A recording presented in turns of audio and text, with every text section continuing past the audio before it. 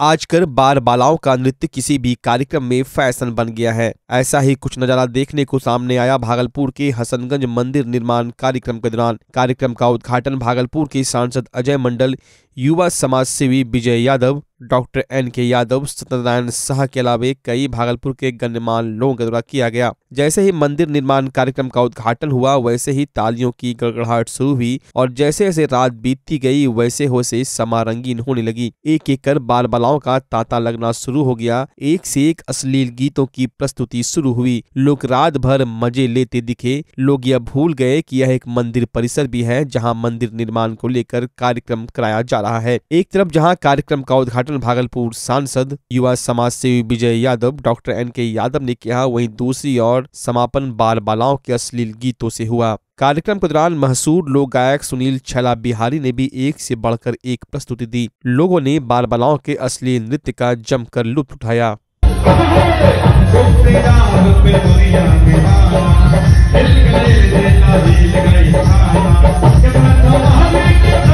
मोहन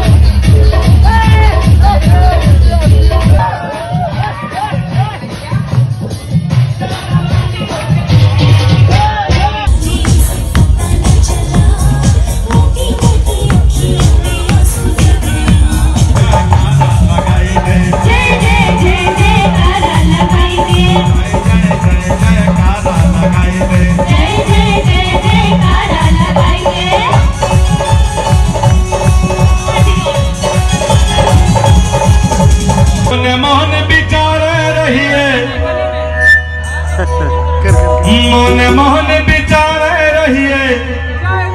जय भय बाबा धाम, बोल भैया राम राम। राम राम सीताराम।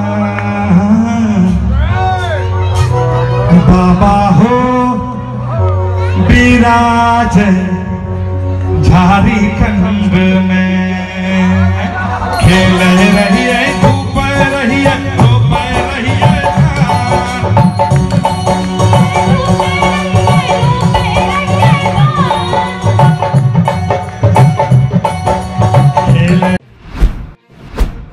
भागलपुर में इस वर्ष समय पर बारिश नहीं होने के कारण धान का आच्छादन कम हुआ है। विशेषकर प्रसिद्ध कतरनी धान की खेती इस वर्ष कम हुई है, साथ ही साथ अब इसके उत्पादन पर भी किसानों में संशय बरकरार है। आशंका है कि देश के महामहिम राष्ट्रपति, प्रधानमंत्री समेत देश के कई गण्यमान भी इसका आनंद नहीं ले सकेंगे। दरअसल बारिश नहीं होने के कारण पूर्वांचल के धान का कटोरा कहे जाने वाले जगदीशपुर में इस वर्ष 100 से 150 एकड़ में ही खेती हुई है। लगातार बारिश नहीं होने के कारण फ़सल का नुकसान हुआ है। जिस समय धान की बालियाँ लाल होकर झुक जाती थी या धान कटाई की तैयारी होती थी, उस वक्त खेतों में कतरनी धान हरे हरे या कई खेतों में अब तक बालियों के फल भी नहीं फूट सके हैं। लिहाजा किसान परेशान है। ज़िले के जगदीशपुर, सुल्तानगंज व सनहौला में धान की बेहतर पैदावार होती थी। इसके लिए भागलपुर को खास प्रसिद्धि मिली है। यहाँ की कतरनी की खास खुशबू व मौलिकता को देखते हुए भारत सरकार ने 2017 में इसे जीआई टैग प्रदान किया था। 2020-21 में कतरनी धान की खेती 1400 एकड़ में की गई थी। इस वर्ष महज 50 से 60 प्रतिशत ही धान की खेती हो सकी है। किसानों से बात करने पर बताया कि हर वर्ष के मुकाबले इस वर्ष पैदावार बहुत कम होने वाली है। कई किसानों ने कर्ज लेकर खेती की थी। उनके सामने अब कर्ज चुका पाने की भी समस्या आ जाएगी। खेती तो गड़बड़ा गया, शुरू इस बार।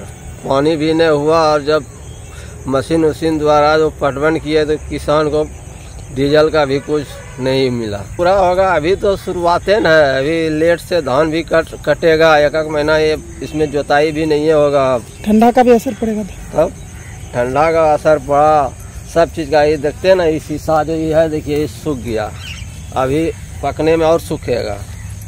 इस बार उपज ना पाएगा? नहीं उतना उपज कितना उपज हो पाता था? इस बार कितना कम पहले तो हो जाता छह सात कुंटल प्रति बीघा होता था।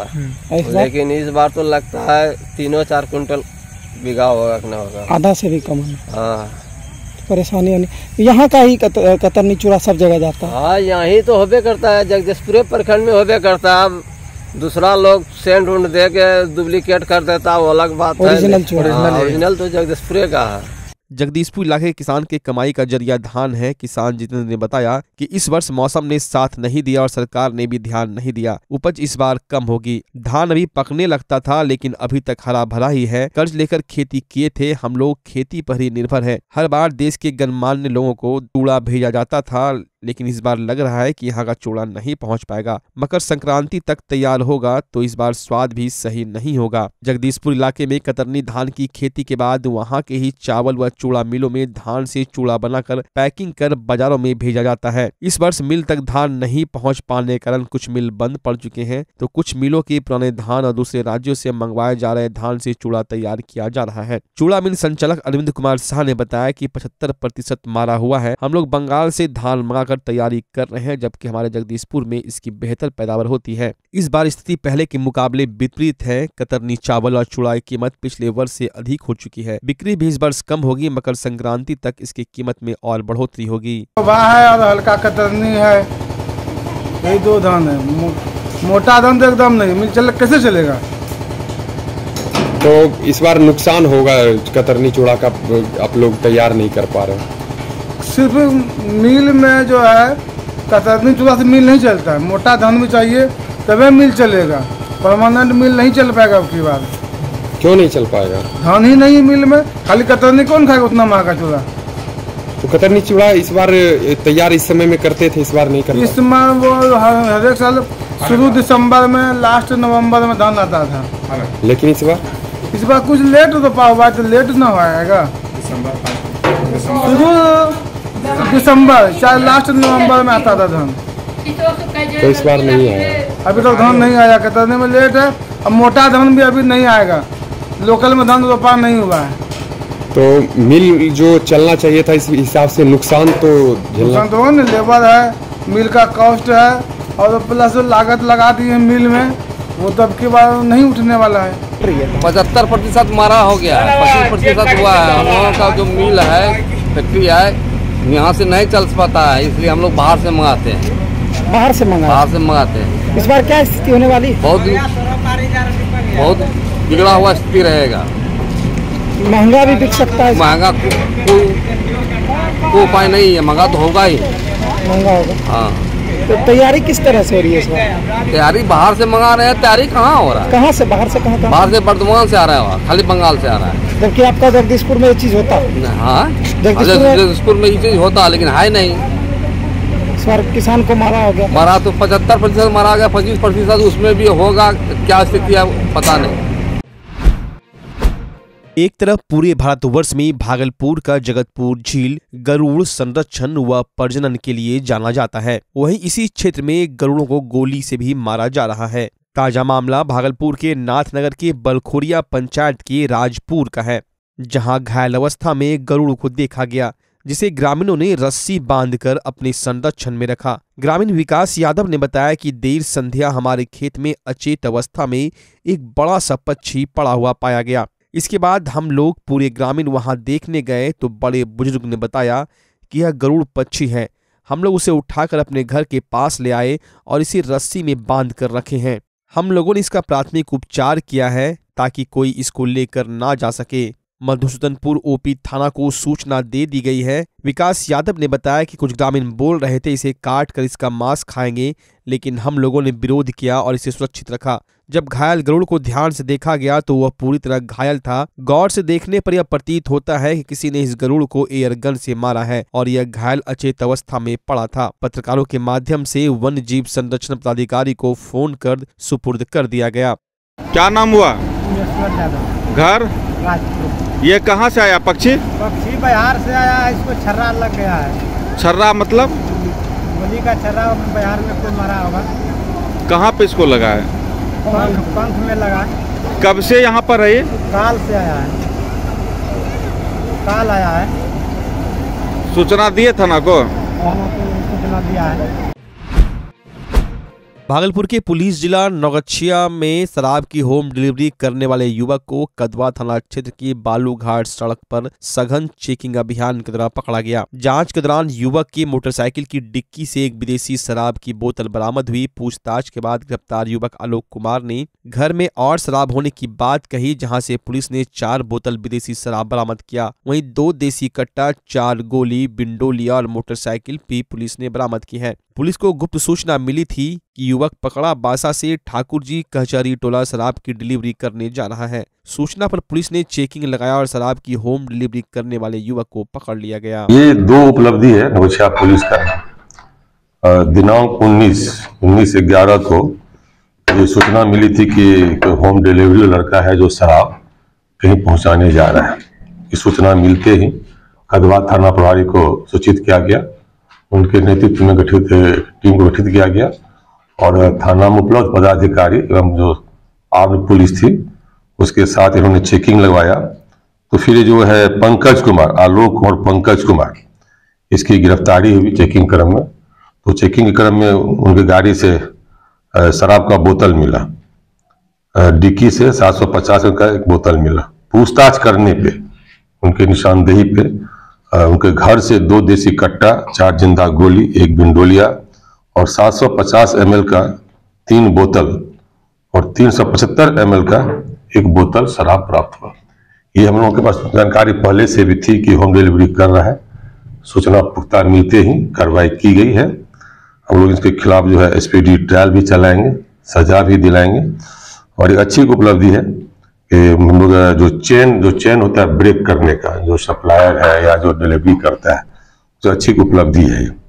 इस टीम में हमारे जो भी पदाधिकारी थे थाना प्रभारी हैं अन्य अनिल कुमार रविदास हैं, पीटीसी कृष्ण कुमार सिंह हैं, और आर्म पुलिस सभी को रिवार्ड भी दिया गया है मेरे द्वारा। दूसरा एक इस्माइलपुर में क्या था, एक राहुल कुमार है, वो अपना ज़मीन, इसके केस का वादी है विद्यानंद राय। विद्यानंद राय को ज़मीन वो बेचा था, बाद में ज़मीन का कीमत बढ़ गया तो बोला और हमें अधिक पैसा चाहिए। पैसा देने और समर्था जताने पे ये जो राहुल कुमार है विद्यानंद राय घर पे जाकर के फायरिंग किया, गाली गुप्ता किया, बोला, या तो दी हमें बढ़ाओ पैसा और एक्स्ट्रा दो। उसी पे फिर पुलिस सूचना पर पहुँची तो पब्लिक उसको पकड़ करके सुपुर्द किया पुलिस को। और जो आर्म्स था, एक कट्टा देसी और एक खोखा गोली और मोटरसाइकिल उसको सुपुर्द किया पुलिस को। इसकी जाँच हम लोग कराएँगे।